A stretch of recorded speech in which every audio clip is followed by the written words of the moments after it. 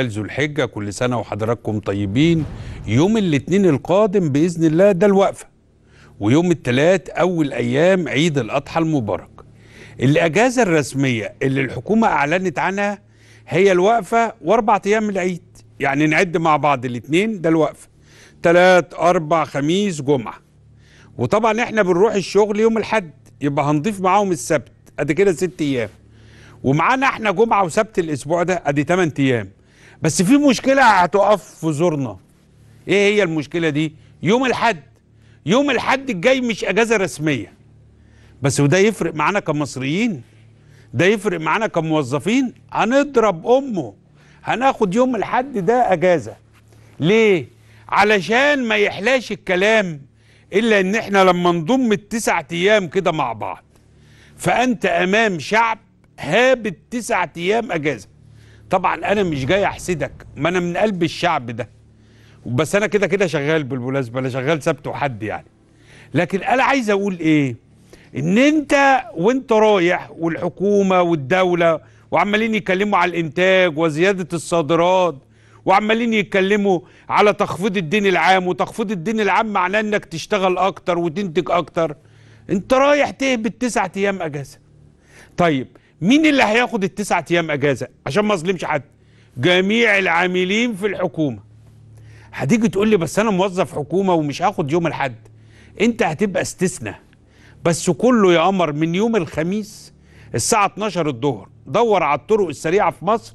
هتبقى كلها راكبة فوق بعضها. اللي هو لأبيتن ليلتي إيه؟ لتبيتن ليلتك في إيه؟ في دار ابن زهير. ده اللي هيحصل. آه ده اللي هيحصل في بلدنا. طيب.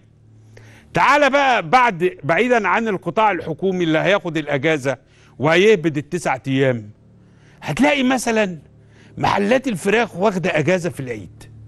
محلات اللحمة بعد ما دبعت الجزار أول يومين عيد ضاربين أجازة كام؟ أسبوعين. تعال أنت فكر نفسك إنك قاهري ملكش بلد زي حالاتي كده تسافر بيها وترجع بعد يومين ثلاثة تدور على خضار فاتح مثلا مفيش خضرجيه في السوق. طب لا قدر الله العربية الكاوتش نام عايز تغير وتلحم. كل محلات الكاوتش والعربيات في مصر والورش أجازة. طب أجازة ليه لا مؤاخذة؟ خلي بالك الأجازة دي أنا مستوعب إنها يا عم يوم الوقفة ويومين عيد. ثلاث أيام عيد خلاص الليلة خلصت. إنما أنا هعمل إيه بتسعة أيام؟ والله ده سؤال أنا بسأل نفسي فيه. يعني حال البلد هيقف في مصر أسبوعين كاملين. هو الاسم الاسم واقفة وأربع أيام. الفعل أمشير. الفعل أسبوعين أجازة. أنتوا فاكرين أجازة العيد الصغير اللي فات؟ والله ما حد رجع بعد أجازة العيد. والبلد ظلت فاضية أسبوع. الناس مش عايزة تشتغل. إحنا شعب ما بيحبش الشغل. إحنا عايزين نسهر طول الليل على الكافيه للساعة 4 الفجر. زي الفل. ونصحى براحتنا ونروح الشغل براحتنا. وبعدين نقول لك الله الفلوس مش مكفية. طب الراجل اللي هو صاحب الورشة ولا الخضري ولا الراجل بتاع الإيشاني والسيراميك اللي بيشطب لك الشقة؟ أدي دقني لو أنت شفته قبل أسبوعين ثلاثة بعد العيد. هو ضرب في جيبه الباكو وخلاص. بقى مليونير دلوقتي وضرب السيجارتين والليلة متعشية ورايح البلد. يصرف يقعد يصرف فيهم يقعد له كام؟ أسبوعين ثلاثة يا ابني انزل شغلك. يا ابني أنا مش معترض أنت مسلم وده عيد. وعيد مسلمين خد يوم الوقفة وأربع أيام الأجازة أنا مش معترض. الأجازة يعني بالمناسبة شرع الله العيد يوم. شرع الله العيد يوم. وعلشان اللي ما يعرفوش هبسطها لك أكتر. أنت عارف صيام ست أيام البيض اللي هم في شوال أنت ما بتصومش أول يوم العيد الفطر بتصوم تاني يوم لأن العيد عند المسلمين يومين يوم الفطر ويوم الأضحى بس وخلص. إحنا بقى على مدار قرون برضو شعوب عربية وإسلامية غاويين نهبد الثلاث والأربع أيام والفتة و...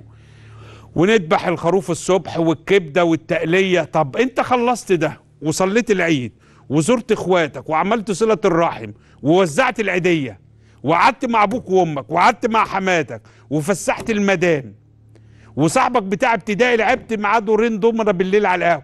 ما تاني يوم ترجع بقى. آه طب أنا عايز أريح. ماشي يا عم ريح يوم كمان. إنما تقعد أسبوعين يا مؤمن. ده بيحصل في البلد دي. البلد دي اللي أنت بتقول أنا عايز أنتج فيها والدولار ليه ب 18 جنيه؟ والصادرات ليه مش عارف بت- بتتراجع رغم إنها زادت ست شهور اللي فاتوا 12% بس حركة الإنتاج وأنا ليه مش لاقي شغل؟ إحنا مش عايزين نشتغل. إحنا كشعب إحنا مش عايزين نشتغل. إحنا علينا إن إحنا نواجه أنفسنا بالحقيقة دي. هات لي شعب في العالم هيهبد أجازة أسبوعين. هتقول لي أوام ضربتهم أسبوعين؟ ما أنا بشرح لك أهو. وأنا مش عايش معاك في البلد ولا إيه؟ يعني ياما المرات اللي سافرت فيها البلد قعدت يومين رجعت أدور على أي حد فاتح بتاع خضار مخبز فاكهة أي حاجة كاوتش عربية كله قافل. طب الجزار قافل ليه؟ طب أنت سهران يومين العيد ذبحت الأضحية. طب خد لك يومين أجازة. أنا بدي أمثلة. يعني مش شرط اللي أنا واقف على الجزاره عشان كده هتلاقي ستات البيوت في مصر بيعملوا إيه بقى؟